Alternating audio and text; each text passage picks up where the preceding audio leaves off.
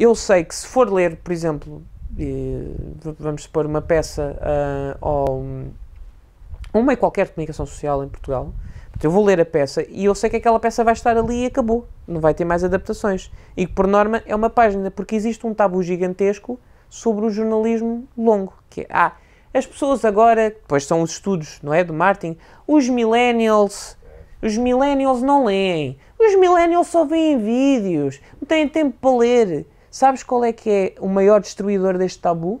É os podcasts. O podcast é o tipo de conteúdo, e está aqui o, o exemplo provado, é o tipo de conteúdo que de maior crescimento neste momento, a nível do audiovisual. E é tão simples como conversas, muitas vezes sem imagem, de horas e horas. Alguns, enfim, são 30 minutos, outros são uma hora e meia, outros são mais. Por exemplo, o Pedro Teixeira da Mota, que é um humorista português, um, ele tem um podcast que é o Ask, o Ask TM. E basicamente aquilo é uma coisa, não tem regras, aquilo, ele está a falar para o microfone. E portanto vai, vai dizendo, vai mandando as suas piadas, vai falando sobre coisas completamente nonsense. Mas aquilo são uma hora, uma hora e tal, e aquilo tem uma audiência de milhares de pessoas por semana millennials que não gostam de ver coisas demoradas. Tens podcasts de coisas super interessantes como música, de todos os temas, que são horas e horas, que têm milhares e milhares de pessoas a ouvir dentro da minha idade, que são os millennials. Mas nós não gostamos de coisas lentas, nós não gostamos de coisas que obriguem a pensar, porque nós, coitadinhos, somos burrinhos e a gente só gosta de, de, das luzinhas a pescar. E isso é muito complicado. Por exemplo, passando agora para o lado profissional, porque tu, por um lado, tens estes estudos todos que indicam que, efetivamente, as pessoas clicam mais nestas plataformas.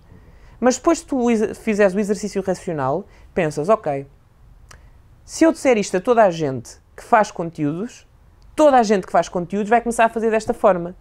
Portanto, o que me vai começar a aparecer mais são conteúdos deste, desta tipologia. Portanto, em teoria, eu vou clicar mais nestes tipos porque são os que me aparecem mais. Portanto, isto também tem que ser visto sempre um bocado com, com, com lupa. O jornalismo, para mim, é bom quando é demorado.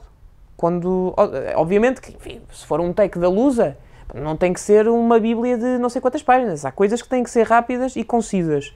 Um, agora, por exemplo, para as eleições europeias, há um rapaz uh, que eu agora, eu depois no, fim dou o nome dele, que eu não me recordo e eu não quero dizer isto mal, porque está a fazer um trabalho espetacular para isto, daquele projeto que é o Ideia Europa.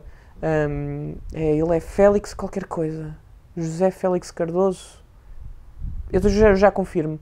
Mas ele está a fazer um trabalho muito interessante que é todas as semanas ele analisa os meios de comunicação social e vê quanto espaço é que foi dado às eleições europeias. E então ele no outro dia estava a ver, creio eu, que era do Diário de Notícias e que de, das 20 ou 30 páginas, acho que era meia página, tinha um apontamento sobre as eleições europeias.